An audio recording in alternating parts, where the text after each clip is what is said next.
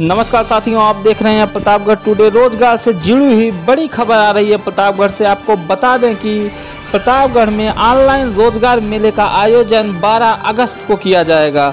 आपको बताते चले कि जिला सेवा योजन कार्यालय प्रतापगढ़ द्वारा 12 अगस्त 2021 को ऑनलाइन रोज़गार मेले का आयोजन किया गया है, जिसमें निजी क्षेत्र की कंपनियों के द्वारा विभिन्न पदों हेतु तो ऑनलाइन वीडियो कॉन्फ्रेंसिंग और टेलीफोनिंग द्वारा इंटरव्यू के माध्यम से बेरोजगार अभ्यर्थियों का चयन किया जाएगा।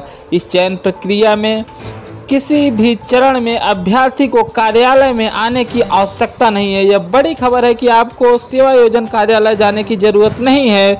इस पूरी प्रक्रिया में आपको सेवा योजन कार्यालय नहीं जाना है। ऑनलाइन रोज़गार मेले में प्रतिभागिता सुनिश्चित करने के लिए जो इच्छुक अभ्यर्थी हैं, वह अनिवार्य रूप से उन्हें ऑनलाइन आवेदन फॉर्म भरना होगा। ऑनलाइन आवेदन करने के लिए सबसे पहले जो अभ्यर्थी हैं, वह सेवा योजन के वेब पोर्टल जो इनकी वेबसाइट है, www.sevayojan.up.nic.in पर, वह जाकर अपना पंजीकरण कर ले। पंजीकरण करने के बाद उन्हें पुनः ऑनलाइन रोज़गार मेले में शामिल होने के लिए ऑनलाइन आवेदन करना होगा।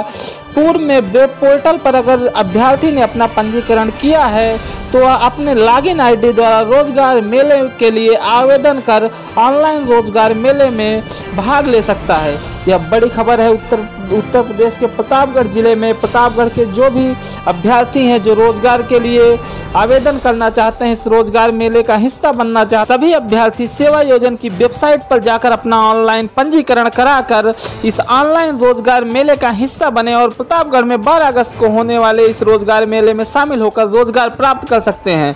प्रतापगढ़ से जुड़ी हुई सभी खबरें सबसे पहले देखने के लिए हमारे चैनल को सब्सक्राइब करें बेलाइकन को दबाना ना भूलें, जिससे कि हमारे आने वाले नए वीडियोज़ की नोटिफिकेशन मिल सके आपको सबसे पहले। धन्यवाद।